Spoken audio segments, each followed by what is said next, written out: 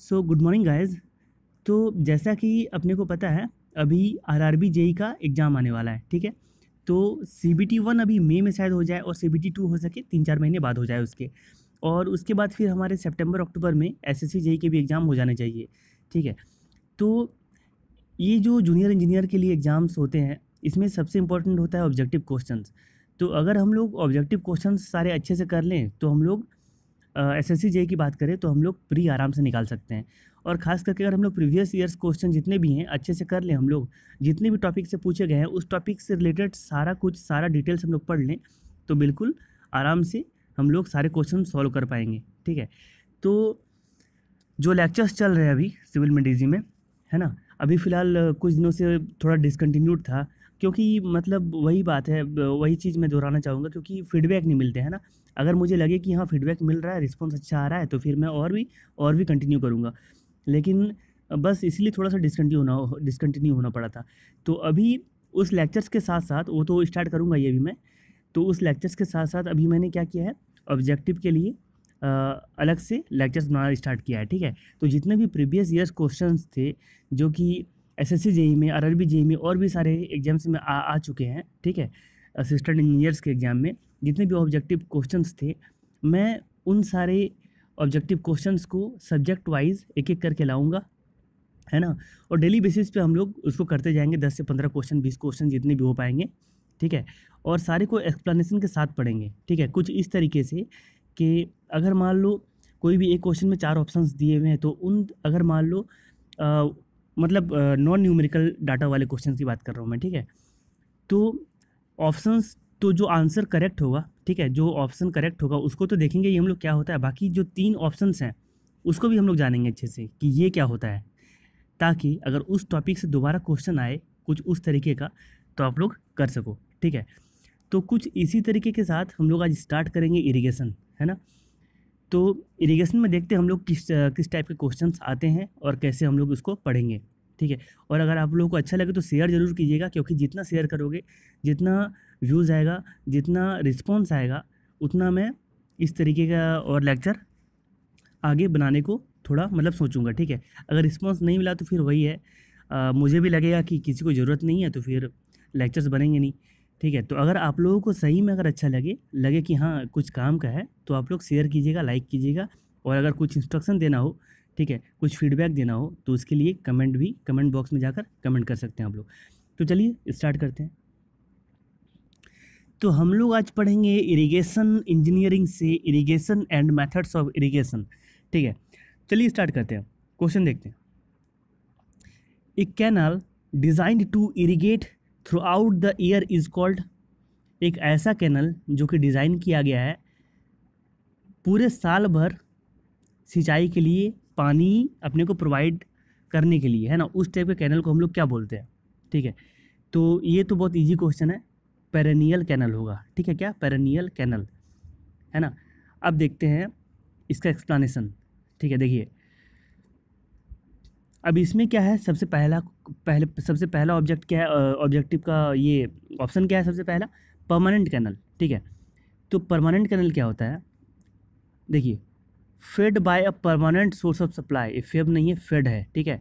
Fed by a permanent source of supply यानी कि ये जो परमानेंट परमानेंट कैनल होते हैं ना, इसमें कोई परमानेंट सोर्स से हमेशा पानी आता रहता है परमानेंटली ठीक है ना? बिना रुके पानी आता रहता है। आगे देखते हैं।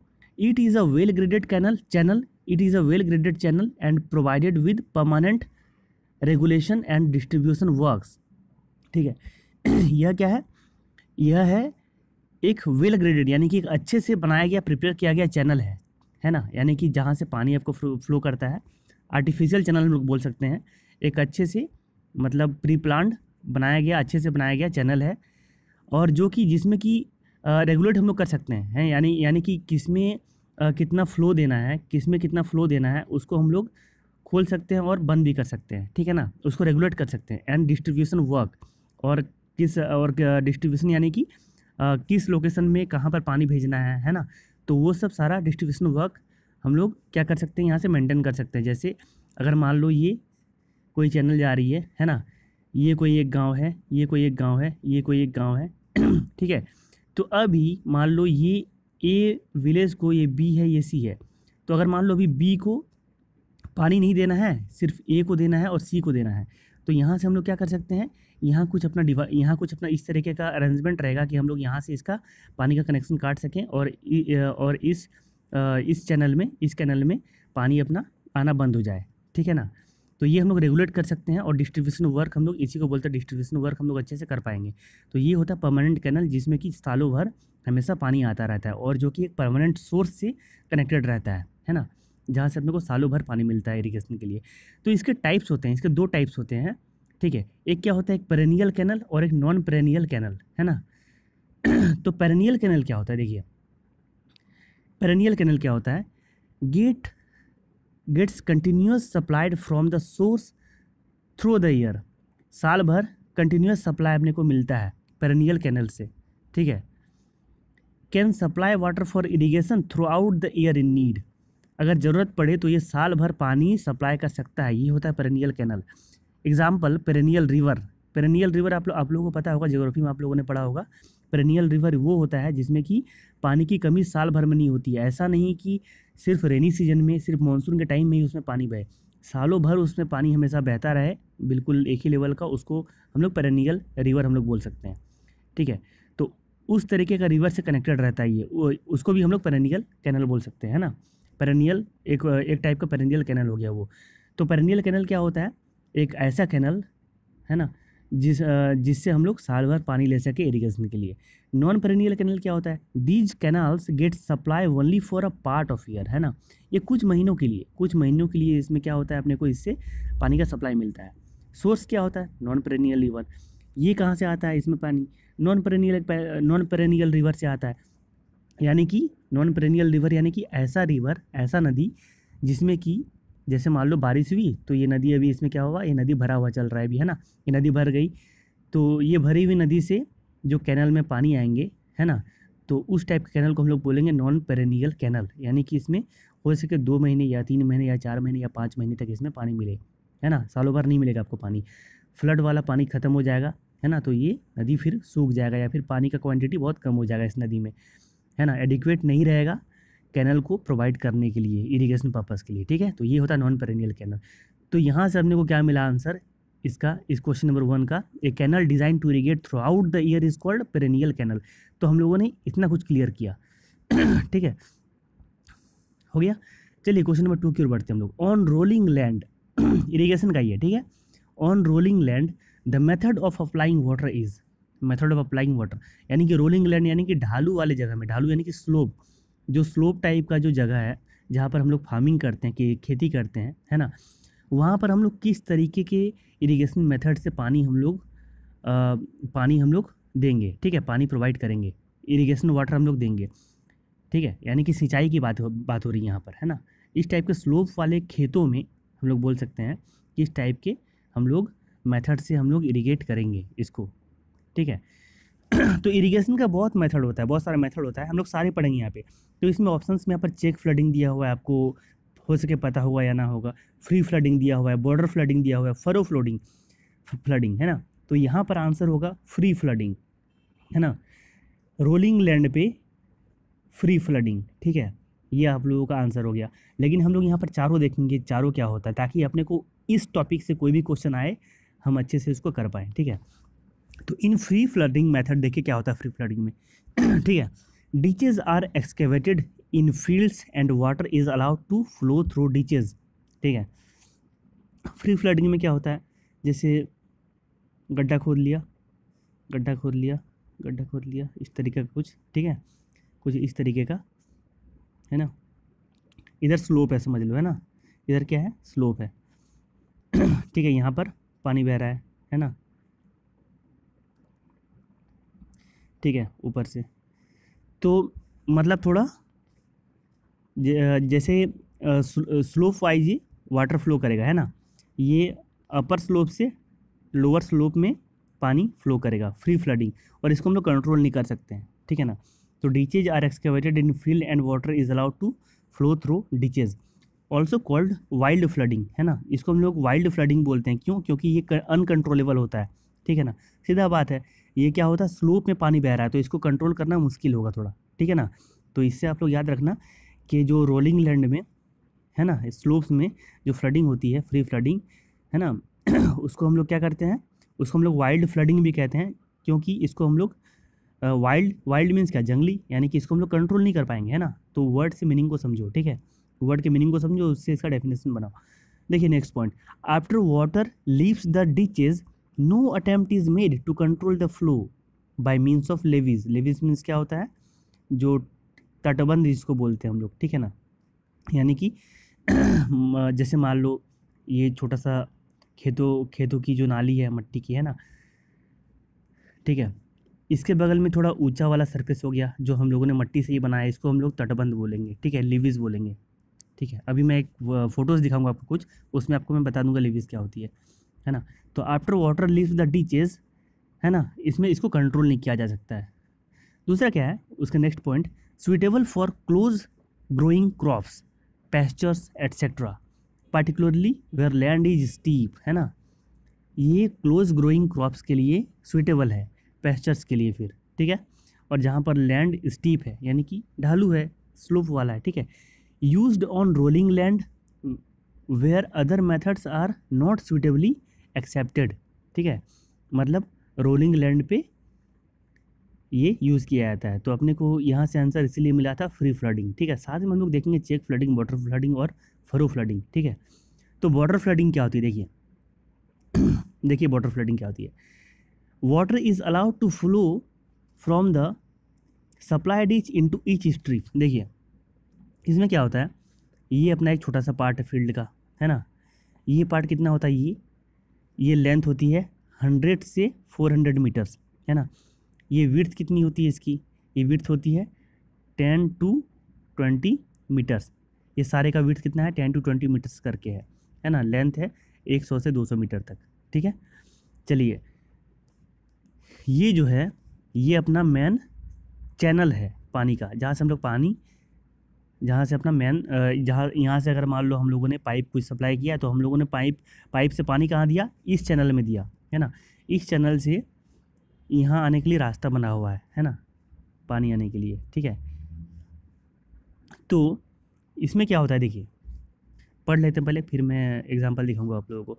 तो water is allowed to flow from the supply ditch into each strip है ना? सप्लाई डिच ये हो गया, यहाँ से ईच स्ट्रिप में पानी आएगा, ठीक है? Flow of water takes place from upper to lower end upper to lower end यहाँ से स्टार्ट होगा पानी, इधर की ओर आएगा, ठीक है? लोअर एंड की ओर, है ना?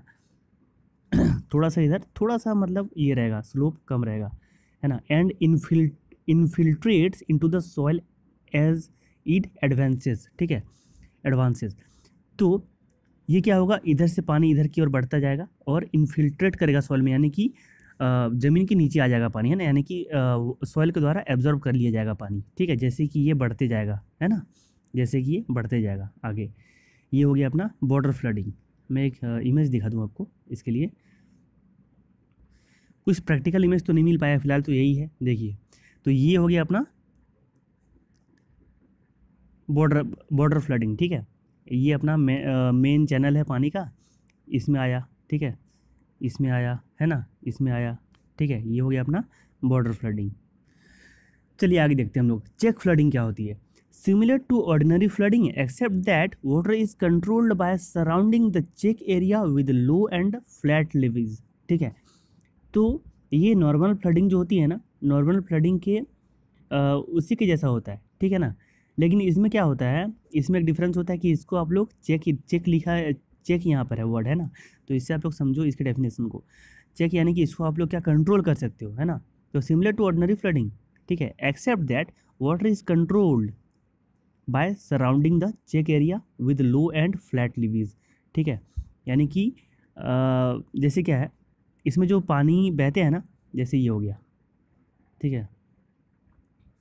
है ना? ये ये मेन चैनल है। यहाँ से पानी आ रहा है, यहाँ से आ रहा है, यहाँ से सॉरी यहाँ से आ रहा है, ठीक है? तो इसमें क्या होता है? अगर मान लो ये वाले चैनल को आप पानी नहीं चाहिए तो यहाँ से आप लोग क्या कर सकते हो? मट्टी डाल सकते हो यहाँ पे, है ना? क्योंकि ये मतलब पानी जो होता है, बहुत मतलब लेवल कम रहता है है ना? मतलब आराम से बहुत कम पानी रहता है, कम कम पानी बहता है इसमें, ठीक है? ताकि इसको आप लोग कंट्रोल कर सको कंट्रोल कर सको इन नीड में। है ना? अगर आप लोगों को ज़रूरत हो तो आप लोग कंट्रोल कर सको इसको, है ना? तो यहाँ पर मट्टी डाल दिया आप लोगों ने तो ये छोटा सा लिवीज बन गया, है ना? यानी कि तटबंध बन गया और इससे इस वाले लाइन में पानी नहीं आएगी, ठीक है? तो ये होता है चेक फ्लडिंग ठीक है?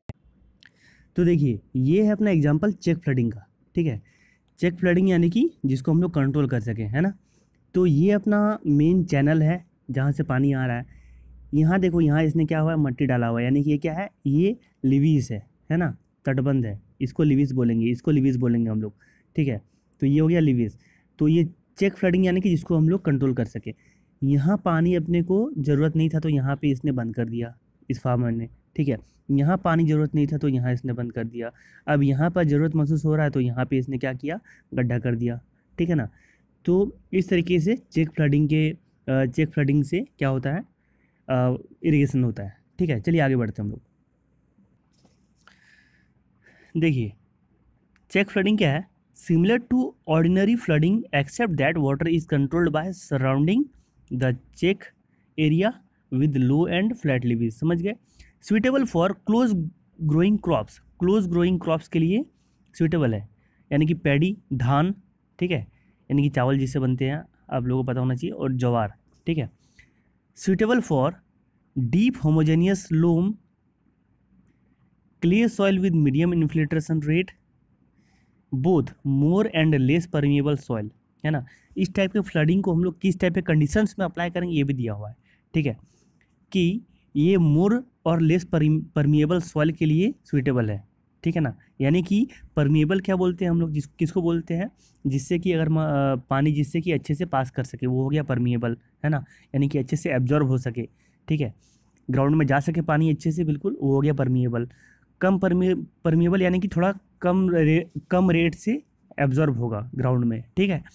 Clay with clay soil with medium infiltration rate clay soil में भी ये सुइटेबल है है ना? जिसमें कि इनफिल्ट्रेशन रेट मिनिमम है यानी कि पानी के इनफिल्ट्रेशन यानी कि पानी के सॉइल के नीचे है ना? पानी के बहने की बहने के उसको प्रोसेस को हम लोग इनफिल्ट्रेशन बोलते हैं ठीक है? तो वो जिसमें मीडियम इनफिल्ट्रेशन रेट के साथ क्ले सॉइल में भी ये सूटेबल है, ठीक है? डीप होमोजेनियस लोम में भी ये सूटेबल है, ठीक है? तो ये हो गया अपना चेक फ्लडिंग अब देखते हैं हम लोग फरो मेथड है ना? या फिर फरो इरिगेशन इसको हम लोग बोलते हैं। ये क्या होता है? देखिए। तो irrigated by series of long field channels called furrows है ना? Irrigated by series of long narrow field channels called furrows ठीक है? देखिए, ये जो, ये है ये है, ये जो गड्ढे हैं जहाँ पर पानी भरा हुआ है, ये क्या हो गया? ये फरो हो गया। ठीक है ना? इसको हम लोग फरो बोलेंगे। ठीक है? Furrows dug in the land at regular interval ये खोदे जाते हैं ज़मीन पे रेगुलर इंटरवल्स पे। ठीक है? उसके बाद वाला पॉइंट क्या है? Two adjacent furrow in infiltrates in the soil between it क्या बोला गया यहाँ पर? यहाँ पर ये बोला गया है कि टू एडजेसेंट फरोज यानी कि ये और इसके जस्ट बाद वाला, ये हो गया एडजेसेंट ठीक है ना? एक के जस्ट बगल वाला, उसको हम लोग एडजेसेंट बोलेंगे। तो टू एडजेसेंट फरोज इनफिल्ट्रेट्स यानी कि इनफिल्ट्रेट करता है फिल्ट्रेट यानी कि इसके अंदर से पानी ट्रेवल करता है है ना? यानी कि इसको भिगाता है एक तरह से, दिखाया तो ठीक है ना? In the soil between it इन दोनों बीच में, इन दोनों के बीच में ये सॉयल है तो इसको ये वाला और ये वाला, ये दोनों फरो मिलकर इस वाले सॉइल को भिगाएगा, ठीक है ना? ऐसे इसमें क्या होता है? इरिगेशन होता है। Crops grown on the ridge between furrows है ना? क्रॉप्स कहाँ पर ग्रो करते हैं? रिजेज में। इसको हम लोग रिज बोलेंगे, ये जो मट्टी है ना? तो इसमें क्रॉप्स ग्रो करते हैं। मैं आपको एक इसका इमेज दिखा दूँ। तो ये है आपका फरो इरीगेशन कुछ इस तरीके से, है ना? देखिए, ये पानी जा रहा है, पानी जा रहा है, ये यहाँ पर बीच में, ये, है ना? ये क्रॉप्स हो रही है, ठीक है? और एक इमेज ये रहा। Furrow irrigation after water is added है ना? पानी इसमें आ, पानी इसमें प्रोवाइड किए जाने के बाद यानी कि इसको इरीगेशन इसमें हो गया है इसमें उसके बाद देखो ये कैसा दिखता है ठीक है? यहाँ पर आप लगा सकते हो क्रॉप्स या फिर शायद एक में भी लगा सकते हो है ना? लेकिन ऐसे दो में लगाए जाते हैं सही रहता है ठीक है ना? क्योंकि अगर आप इसमें एक एक में लगाओगे तो ये थोड़ा और पतला हो जाएगा ठीक है ना? तो इस इसके लिए मतलब और एक आपको फरो बनाना पड़ेगा। उससे अच्छा है पानी इधर से मिल ही रहा है, इधर से भी मिल ही रहा है। क्यों ना इधर वाले पानी को इधर यूटिलाइज कर लिया जाए? जैसे बोलने का मतलब ये है कि अगर मान लो एक फ़रो है, ठीक है? ये फ़रो है है ना? तो इस फ़रो के पानी को यहाँ ले लिया हम लोगों ने और यहाँ भी ले लिया। इस वाले क्रॉप के लिए और इस वाले क्रॉप के लिए ले लिया, है ना? इस वाले पानी को इस वाले क्रॉप के लिए, इस वाले क्रॉप के लिए, ठीक है ना? अब देखने वाली बात ये है कि ये जो फ़रो था, इस वाले क्रॉप को पानी दे रहा था, ये जो फ़रो होगा ये इस वाले क्रॉप को क्यों पानी देगा? इसको तो इस वाले फ़रो से मिल गया, है ना? तो इसीलिए हम लोगों ने एक लाइन पे दो दो लगा दिया है ना? इधर वाले फ़रो से इसको मिल रहा है, इधर वाले फ़रो से इसको मिल रहा है। ठीक है तो ये अपना थोड़ा एडवांटेज हो गया, है ना? चलिए, आगे बढ़ते हैं।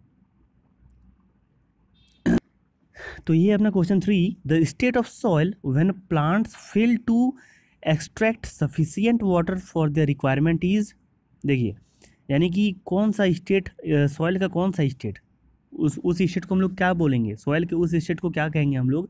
जब प्लांट फेल कर जाता है when plant fails to extract sufficient water है ना? प्लांट ज़्यादा मतलब सफिशियंट यानी कि जितना उसको चाहिए उतना पानी वो एक्सट्रैक्ट नहीं कर पाता है, ठीक है ना? सॉइल से उतना पानी वो एक्सट्रैक्ट नहीं कर पाता है, जितना उसको रिक्वायरमेंट होता है। तो इस वाले कंडीशन को हम लोग क्या बोलेंगे? तो ये होता है परमानेंट विल्टिंग पॉइंट इसको हम लोग बोलते हैं। लेकिन परमानेंट विल्टिंग पॉइंट होता क्या है? अगर मैं आपको सिर्फ़ ऑब्जेक्टिव बता देता कि इसको हम लोग परमानेंट विल्टिंग पॉइंट बोलते हैं, है ना? या फिर maximum saturation point ultimate utilization point क्या होता है? ये सब होता क्या है? कुछ पता नहीं अपने को, है ना? तो ये सब पढ़ना ज़रूरी है, ठीक है ना? ताकि इस टॉपिक से रिलेटेड कोई भी क्वेश्चन आए ना, आपका छूटे ना, ठीक है ना? चलिए देखते हैं परमानेंट विल्टिंग पॉइंट होता क्या है? देखिए permanent wilting point P W P भी इसको हम लोग बोल सकते हैं शॉर्ट फॉर्म में। A moisture content at which the film of water around the soil particles are held so tightly that plant roots can't extract enough moisture at sufficiently rapid rate to satisfy transpiration requirement and this result in wilting of plant ठीक है ना? देखिए, यानी कि क्या हो गया? ये एक ऐसा मॉइस्चर कंटेंट है, ये ऐसा मॉइस्चर कंटेंट है जहाँ पर जो पानी जो है ना पानी का फ़िल्म हम लोग बोल सक, बोल सकते हैं। ठीक है ना? जहाँ पर वाटर जो है, ये सॉयल पार्टिकल्स द्वारा क्या होता है? बहुत टाइटली होल्ड किए जाते हैं, है ना? ये ग्राउंड है, ये अपना सॉइल है सॉइल पार्टिकल्स है। ठीक है ना? ये क्या है अपना? सॉयल पार्टिकल्स है। ठीक है ना? यहाँ क्या है अपना? यहाँ प्लांट का अपना रूट है है ना? ये अपना प्लांट का रूट है। तो ये ब्लू वाला सॉयल पार्टिकल है है ना? ये क्या है? ये ग्रीन वाला है ये ग्रीन वाला है वाटर, है ना? तो ये ग्रीन वाला जो है ना, यानी कि वाटर, ठीक है? वाटर फ़िल्म हम लोग बोल सकते हैं या फिर वाटर पार्टिकल्स बोल सकते हैं हम लोग, ठीक है ना? तो ये जो ब्लू वाला है, सॉइल पार्टिकल, ये जो सॉइल पार्टिकल है, इस वाटर को बहुत अच्छे से मतलब टाइटली होल्ड करके रखता है है ना? इस, ये जो ब्लू वाला है, यानी कि सॉइल पार्टिकल जो है, सॉइल पार्टिकल क्या करता है? ये वाटर पार्टिकल को ठीक है ना? बहुत टाइटली होल्ड करके रखता है और ये जो प्लांट रूट है, इसको प्लांट रूट कैपेबल नहीं है। इसको एक्सट्रैक्ट करने के लिए, ठीक है ना? यानी कि इतने टाइटली होल्ड करता है ये सॉयल पार्टिकल सारे वाटर मॉलिक्यूल्स को, कि ये जो प्लांट है प्लांट रूट है, ये इस वाटर मॉलिक्यूल्स को एक्सट्रैक्ट नहीं कर पाते हैं, ठीक है ना? मतलब इस लेवल का ये रहता है पानी का मॉइस्चर ठीक है? अगर सिंपल से बात है, अगर यहाँ पर पानी मॉइस्चर ज़्यादा रहेगा, पानी ज़्यादा रहेगा, ठीक है ना? तो एडिक्वेट बहुत ज़्यादा पानी होगा, है ना? तो ये रूट आराम से पानी ले लेगा, लेकिन ये वो कंडीशन है, ये वो पार्टिकुलर कंडीशन है, ये पार्टिकुलर मॉइस्चर कंडीशन है है ना? एक पार्टिकुलर स्टेट है है ना? पानी का क्वांटिटी है, जहाँ पर मतलब एक तरह से बोल सकते हम लोग बहुत कम है। है ना, बहुत कम है एक तरह से हम लोग ये बोल सकते हैं। जहाँ पर ये जो सॉइल पार्टिकल है, उस पानी के फ़िल्म को, उस पानी के परत को, उस पानी के पार्टिकल्स को बहुत टाइटली होल्ड करके रखा हुआ है है ना? और वो रूट है ना, वो रूट एब्जॉर्ब नहीं कर पा रहा है वो पानी, ठीक है ना? ये बोला गया है यहाँ पर। तो a moisture content at which the film of water around the soil particles are held so tightly that plant root can't extract enough moisture at sufficiently rapid rate, है ना? जितना जितना ज़रूरी है उस प्लांट को ट्रांसपीरेशन के लिए, यानी कि जो भी प्रोसेस हैं फ़ूड फ़ूड बनाने के लिए, फोटोसिंथेसिस के लिए, ठीक है ना? तो उसके लिए जितने रिक्वायरमेंट चाहिए उसको, जितने रिक्वायरमेंट्स हैं पानी के, वो उतना उससे ले नहीं पा रहा है, ठीक है ना? और क्या होता है, result in wilting of plant, और इस तरह से प्लांट क्या होता है, कमज़ोर पड़ने लगता है, ठीक है ना? इसको हम लोग बोलते हैं परमानेंट विल्टिंग पॉइंट ठीक है? चलिए देखते हैं, ये तो हो गया अपना, लेकिन मैक्सिमम सेचुरेशन पॉइंट भी एक पॉइंट है, एक ऑप्शन है ऑप्शन नंबर ए ये क्या होता है, ये हम लोग देखते हैं maximum saturation point total content of soil when all pores of soil are filled with water है ना?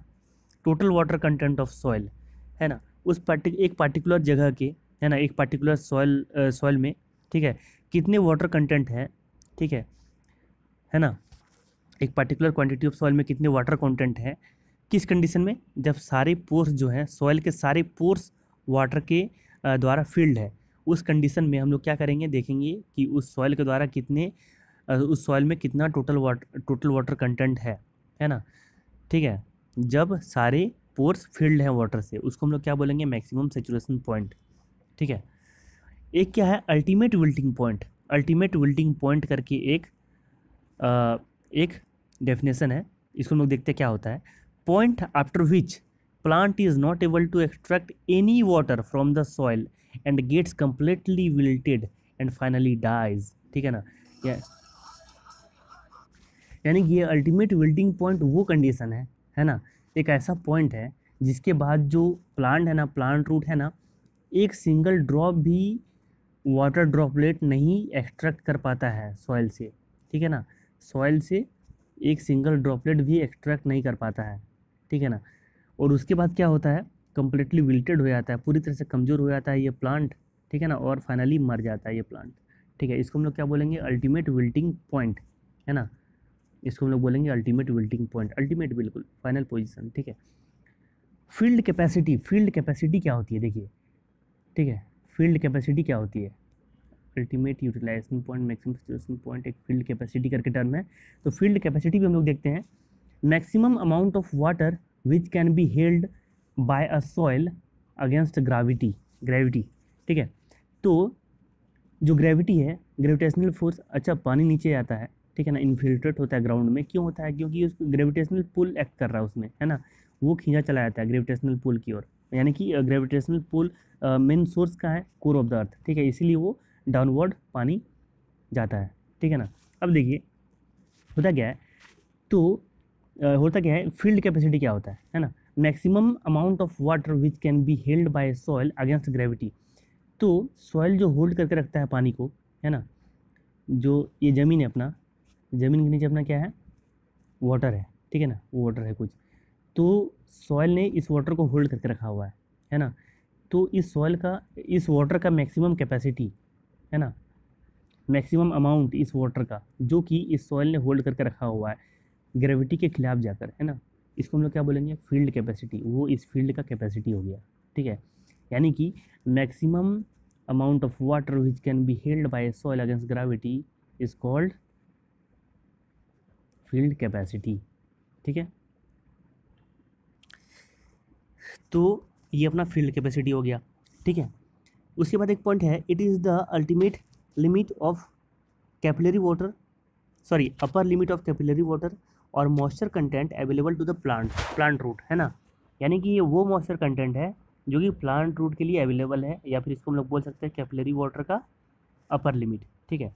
तो ये अपना क्वेश्चन नंबर थ्री खत्म हो गया। क्वेश्चन नंबर फोर में देखते हैं क्या है। Sprinkler irrigation system is suitable when देखिए, एक स्प्रिंकलर इरीगेशन सिस्टम भी होता है है ना? स्प्रिंकलर इरीगेशन ठीक है? तो ये किस टाइप के जगहों में सुटेबल है? लैंड ग्रेडियंट इन स्टीप है ना?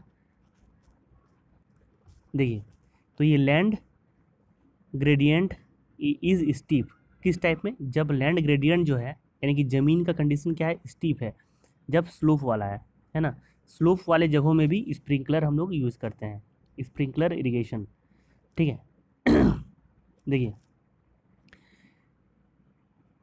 Water applied in form of spray sprinkler irrigation में होता क्या है? स्प्रे के फॉर्म में आप लोगों ने देखा होगा बहुत जगहों पे, स्प्रे के फॉर्म में वाटर हम लोग इसमें अप्लाई करते हैं, ठीक है ना? एज इन ऑर्डनरी रेन जैसे कि ऑर्डनरी रेन में होती है। दूसरा पॉइंट क्या है? Use specially by cultivators of tea coffee and vegetables है ना? टी कॉफ़ी और वेजिटेबल्स वेजिटेबल्स की जो खेती करते हैं, उन सारे फार्मर्स के लिए ये बहुत ही उपयोगी है, वो लोग इसको यूज़ करते हैं, ठीक है ना? Not in rice jute and similar crops है ना? राइस में ये यूज़ नहीं होता है जूट में भी यूज़ नहीं होता है। क्योंकि जूट और राइस है ये क्या है? मतलब बहुत नज़दीक नज़दीक इसके प्लांट्स लगाए जाते हैं है ना? और स्प्रिंकलर इरिगेशन हम लोग इसमें यूज़ नहीं करते हैं क्योंकि इसके जो प्लांट्स भी होते हैं वो क्या होते हैं? एक तरह से अ, मतलब ये रूट तक पहुँचेगा नहीं हम लोग स्प्रिंकल पानी छिड़काव करेंगे तो ठीक है ना? और ये इतने नज़दीक इसके रूट्स होते हैं कि सुइटेबल क्या होता है? फ्लडिंग ही फ्लडिंग इरिगेशन ही फ्लड इरिगेशन ही या फिर चेक इरिगेशन ही इसके लिए सुइटेबल होता है ठीक है?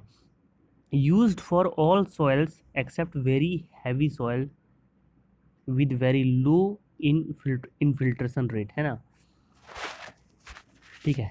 ऐसा सॉइल जो कि बहुत हैवी सॉइल है हैवी सॉइल की कैटेगरी में आता है और इनफिल्ट्रेशन रेट बहुत लो है, ठीक है? उस टाइप के सॉइल्स में इसको हम लोग यूज़ नहीं करते हैं। क्योंकि स्प्रिंकलर से हम लोग बहुत ही, एक तरह से बहुत ही कम पानी इसमें हम लोग क्या करते हैं? अप्लाई करते हैं, ठीक है ना? तो बहुत कम पानी है, यानी कि ये अगर इनफिल्ट्रेशन रेट स्लो है, यानी कि ये पानी बहुत जल्दी नहीं पहुँच पाएगा नीचे तक, है ना? ज़मीन के नीचे तक पानी बहुत जल्दी, जहाँ तक रूट्स हैं, वहाँ तक नहीं पहुँच पाएगा और ये इवोपोरेट हो जाएगा। इसीलिए हम लोग क्या करते हैं इसको, ऐसी जगहों पर यूज़ करते हैं जहाँ पे जो सॉइल है सॉइल कंडीशन क्या है? बहुत हैवी नहीं है और इनफिल्ट्रेशन रेट हाई है, यानी कि वाटर जैसी सरफेस पे गया, वो तुरंत सॉइल के नीचे चला गया, ठीक है ना? इस टाइप के सॉइल्स में यूज़ होता है। Most suitable for light soils है ना? लाइट सॉइल्स के लिए लाइट सॉइल्स के लिए बहुत सुइटेबल है। Deep percolation losses are avoid है ना? इसमें क्या होता है? डीप परकोलेशन लॉसेस ठीक है? यानी कि वही है, जैसे रूट यहाँ तक है, ठीक है ना? तो पानी को इस ऊपर वाले सरफेस से यहाँ तक आने में जो भी लॉसेस होते हैं, यानी कुछ इवोपरेट हो गया, है ना? कुछ इधर उधर चला गया तो ये सब नहीं होता है। बहुत इसमें क्या होता है?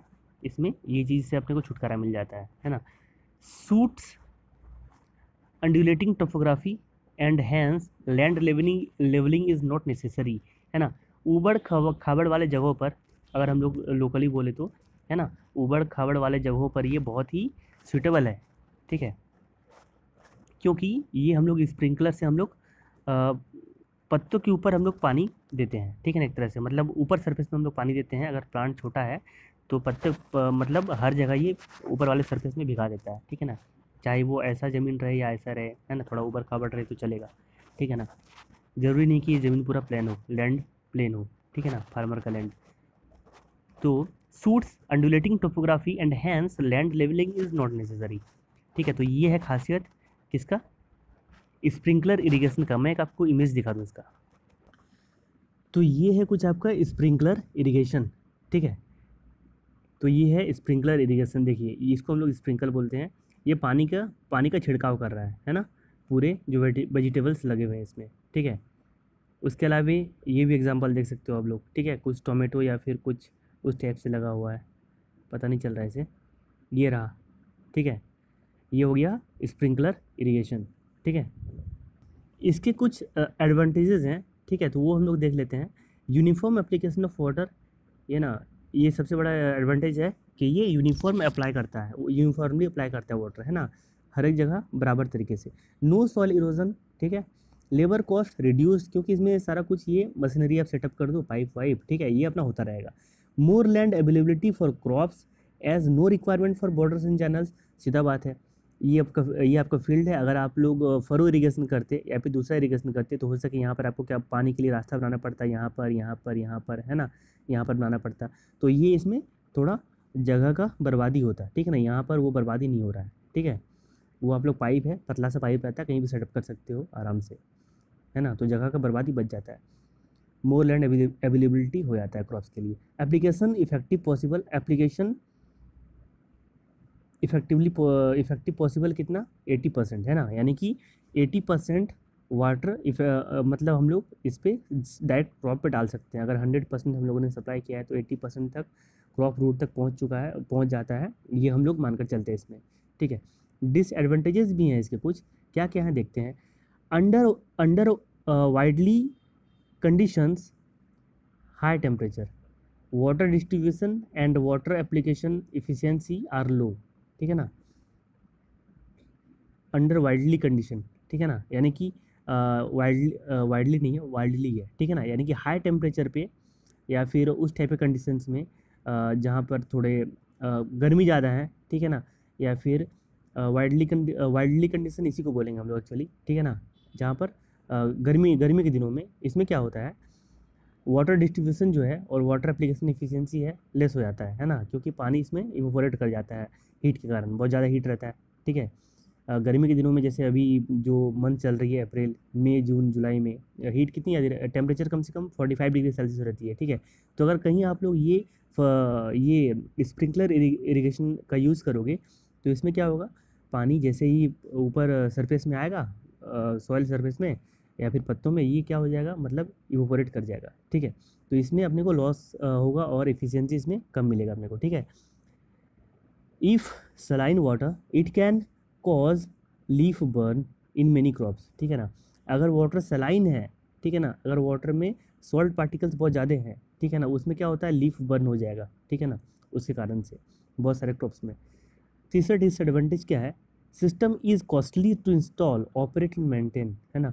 मेंटेन करने में ऑपरेट करने में, ठीक है ना? बहुत ही कॉस्टली थोड़ा कॉस्ट ज़्यादा पड़ता है, ठीक है ना? इंस्टॉल करने में ऑपरेट करने में और मेंटेन करने में। Need continuous supply of power for operating system electricity भी इसको हमेशा चाहिए या फिर अगर दूसरा सोर्स है आपके पास, ठीक है ना? तो इसको जनरेटर जनरेटर से अगर आप आप इसको बिजली प्रोवाइड कर रहे हो तो वो भी आपको हमेशा इसमें कंटिन्यूस देना पड़ेगा, ठीक है ना? ये अपना डिसकंटिन्यूस डिसएडवांटेज हो गया, ठीक है? नेक्स्ट क्वेश्चन देखते हैं। The intensity of irrigation means intensity of irrigation मतलब क्या समझते हैं आप लोग? आप लोगों ने न्यूज़ पर देखा होगा बहुत बार, इतनी इंटेंसिटी का रेनफॉल हुआ, उससे मतलब क्या है? उसका मतलब क्या है? देखिए उसका मतलब ये है परसेंटेज ऑफ़ कल्टिवेबल एक मिनट एक मिनट। हाँ सॉरी मैंने आपको भी इंटेंसिटी ऑफ़ रेनफॉल के बारे में बता दिया, ठीक है?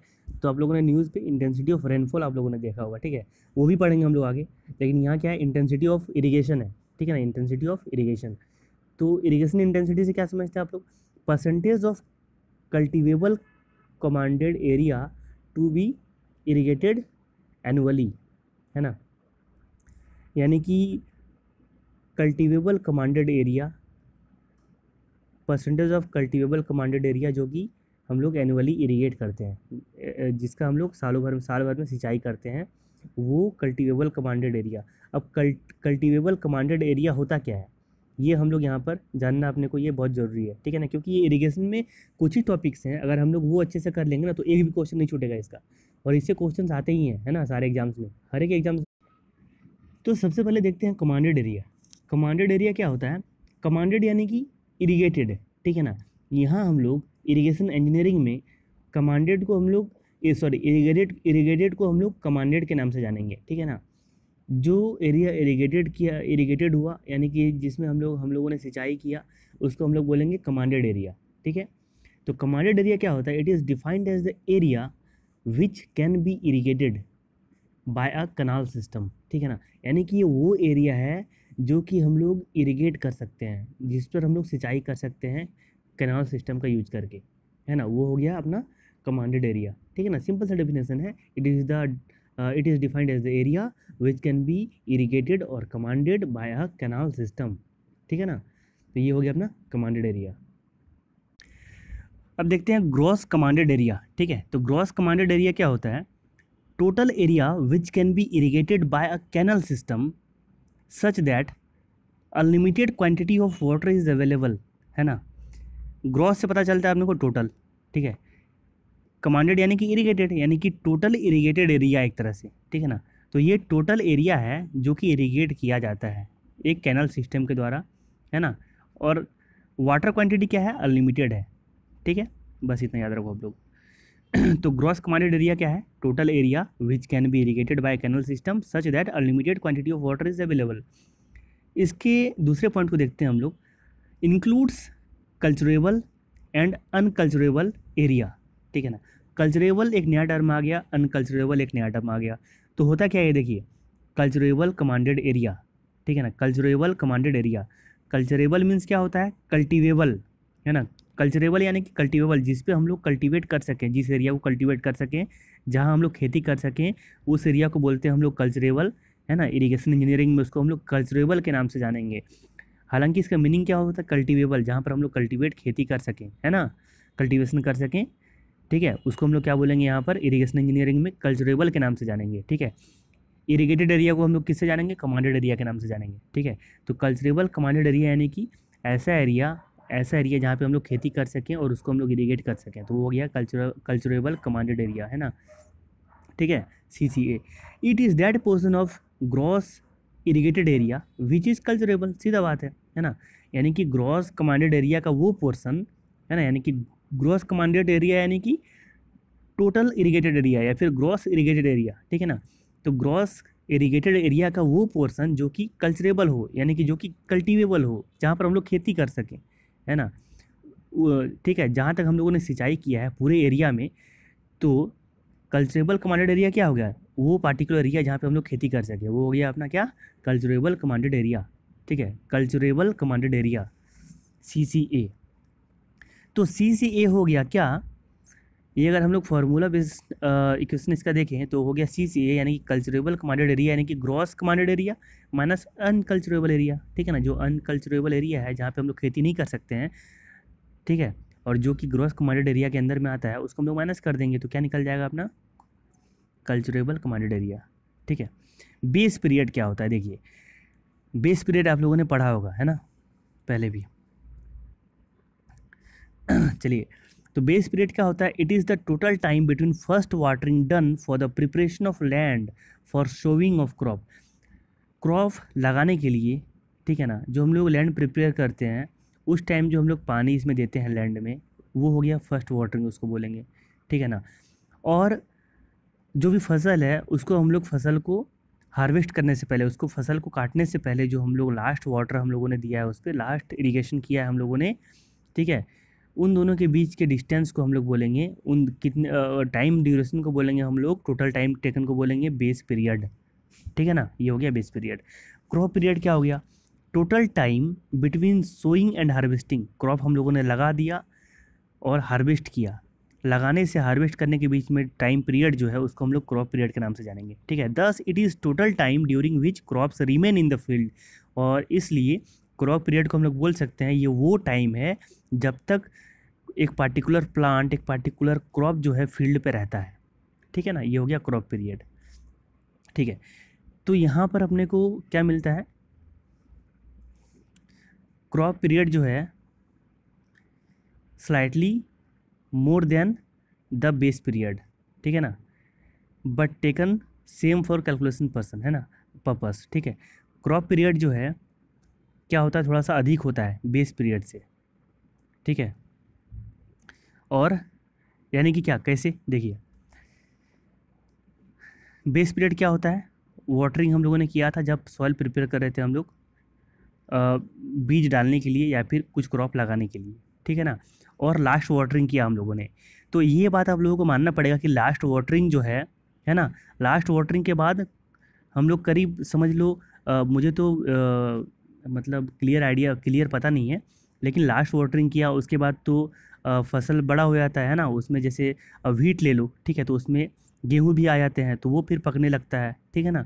तो लास्ट वाटरिंग के करीब एक महीने बाद हम लोग समझ लो एग्ज़ाम्पल बता रहा हूँ, लेकिन शायद इसी के आसपास होगा डाटा इसका, ठीक है ना? तो एक महीने बाद हम लोग फ़सल काटते हैं, ठीक है ना? तो लास्ट वाटरिंग यानी कि काटने से हार्वेस्ट करने के एक महीने पहले तक का डिस्टेंस लेते हैं हम लोग, कहाँ से? जो पहला पानी, पहला हम लोगों ने वाटरिंग किया था। तो फ़र्स्ट वाटरिंग से लास्ट वाटरिंग यहाँ तक हो गया, है ना? लेकिन जो क्रॉप पीरियड है क्रॉप पीरियड कहाँ हो गया? ये हम लोगों ने फ़र्स्ट वाटरिंग किया। फ़र्स्ट वाटरिंग के तुरंत कुछ दिन बाद ही, क्योंकि सॉइल प्रिपेयर हुआ और हम लोगों ने बीज लगा दिया सीड हम लोगों ने डाल दिया। तो यहाँ से क्रॉप यहाँ तक रहा, जब तक हार्वेस्ट ना किए हों, है ना? तो ये है लास्ट वाटरिंग ये छोटा है और ये क्रॉप पीरियड अपना बड़ा है। तो क्रॉप पीरियड इसलिए अपना थोड़ा बड़ा होता है, ठीक है ना? किससे? बेस पीरियड से। लेकिन हम लोग कैलकुलेशन के लिए इसको इक्वल लेते हैं। तो ये रहा कुछ अपना इरीगेशन का हम लोगों ने पाँच क्वेश्चन किया और टाइम बहुत ज़्यादा हो गया आज, है ना? तो हम लोग आज इतना तक ही करेंगे, पाँच ही क्वेश्चन करेंगे। लेकिन आप लोग ये मत सोच रहा कि हम लोगों ने पाँच ही क्वेश्चन पढ़ा है, दस नहीं पढ़ा, पंद्रह नहीं पढ़ा, बीस नहीं पढ़ा। बस आप लोग ये देखो कि ये जो पार्टिकुलर टॉपिक्स हैं जो हम लोगों ने पढ़ा, इस टॉपिक से कोई भी क्वेश्चन आएगा तो हम लोग इसको आराम से कर सकते हैं। यानी कि एक तरह से समझ लो आप लोगों ने पंद्रह से बीस क्वेश्चन पढ़ा, ठीक है ना? इस पाँच क्वेश्चन में एक तरह से पंद्रह से बीस क्वेश्चन छुपा हुआ है, ठीक है ना? तो जितना पढ़ेंगे, बिल्कुल अच्छे से पढ़ेंगे। तो ये मोटिव के साथ हम लोगों ने आज का लेक्चर ख़त्म किया और आगे भी करते रहेंगे, ठीक है?